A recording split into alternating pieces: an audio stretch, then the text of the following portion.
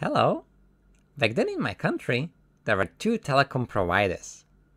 I will try my best to translate their names to English. The first provider was called Brickphone, and the second was called eMobile. Well, this is not a great translation, but it accurately describes the experience we had with them. By the way, can you guess my country?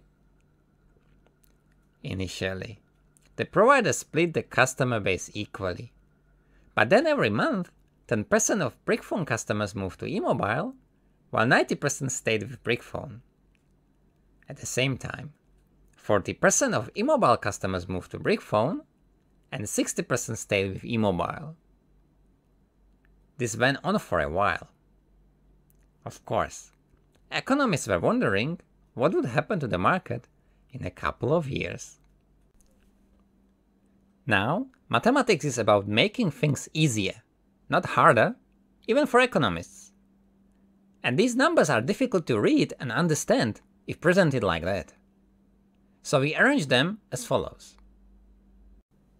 This arrangement is called a matrix. If we start with an equal split of customers, say 50-50, after one month we get a new distribution of customers.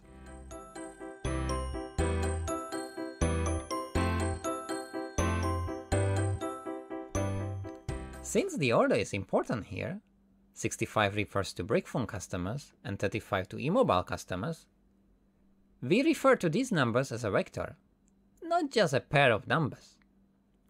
By the way, what we have just performed could be called matrix multiplication or linear transformation of a vector by a matrix. If you have no idea what those things are, no need to worry. I'm just letting you know that is what we have done. The point is that to find out what will happen with this market in 12 months or 5 years, we need to repeat the process 12 and 60 times. Doing this by hand is outright unpleasant, and although you could recruit some software to do the job for you, well, would you be able to do it right now? For most, computing the resulting market distribution, after many periods, is a hard task. I have an easy method for you, something you can do right now, by hand. How? We will use the fact that every matrix with the same number of columns and rows, we call matrix is square, has special vector inputs that give the same output but scaled by a constant. For example, 1 and negative 1 is such a vector input for our matrix.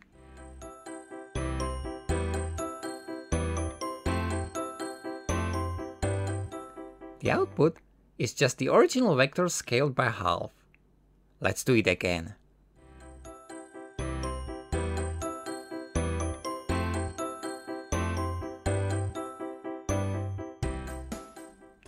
Computing what will happen after 12 periods is easy.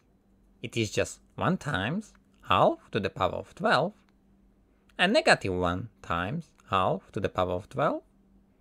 Actually something quite close to a zero vector. Is 50 and 50 such a special input? Bad luck. Multiplying 50 by a constant cannot give us two different values of 65 and 35.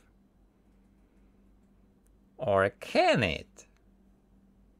If we could express the initial distribution as a linear combination of these special vectors, oh, and they are called eigenvectors, then look at the magic.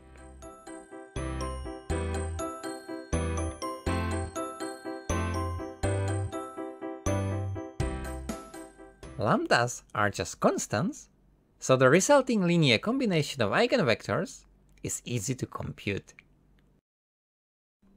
Well, Okay, this is nice, but how on earth you can get these eigenvectors? Maybe you have already seen the algebraic process at school and remember that it was just blah, not an easy solution that I have promised. Well, our matrix is not just an ordinary matrix. It is a transition matrix, also known as a stochastic matrix. Look at the columns. They sum up to 1. The reason is that every customer must go somewhere, either stay or move to the other telecom provider. Actually, they can stop using phones, or maybe you have more providers in your country, but then you would just get more rows and columns in your matrix. The columns would still have to sum up to 1. And these matrices are something extraordinary. They have some eigenvectors that do not change when transitioned by the matrix. That scaling constant is 1.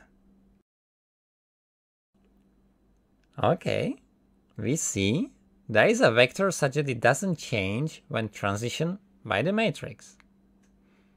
Now ponder what it means.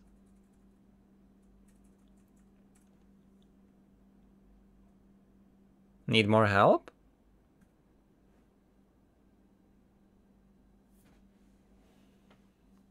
Still not clear?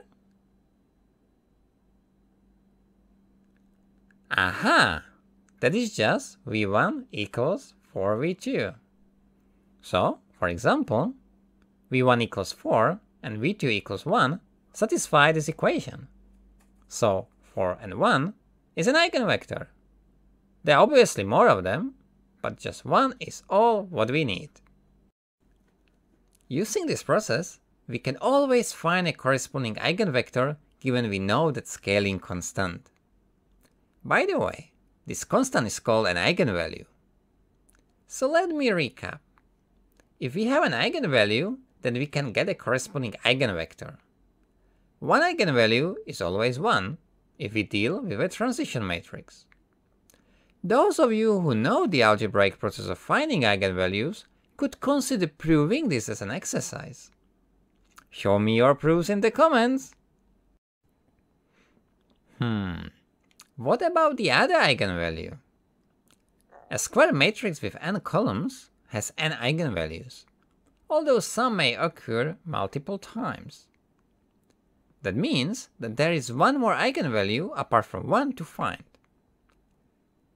But for a transition matrix with only two columns, this is easily done. The sum of all eigenvalues is always equal to the sum of elements on the main diagonal of the matrix. This sum is called the trace. The diagonal is right here. What is the sum of the elements? 1.5. What was one of the eigenvalues? 1. So the other one must be half. We've already mentioned it before. The point is that we now also know how to obtain it. Say, should I give you a different transition matrix? If your transition matrix is bigger, then all the eigenvalues are not immediately obvious, but by using the proper algebraic procedure, you can get them. Or not, as the algebraic procedure might struggle with certain big matrices, but then you would use a numerical method. Now you are ready to solve the original problem in a blink of an eye and by hand.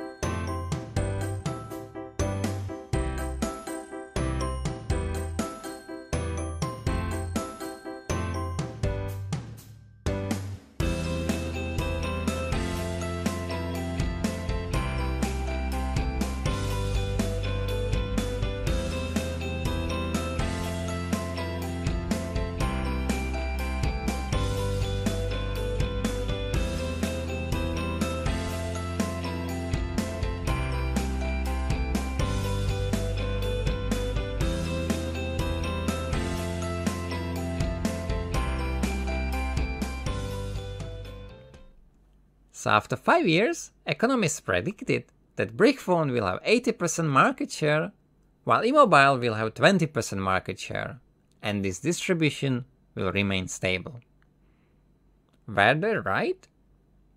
What actually happened was that another telecom provider arrived to the market. This analysis was pointless, but you have learned that eigenvectors are useful even in economics.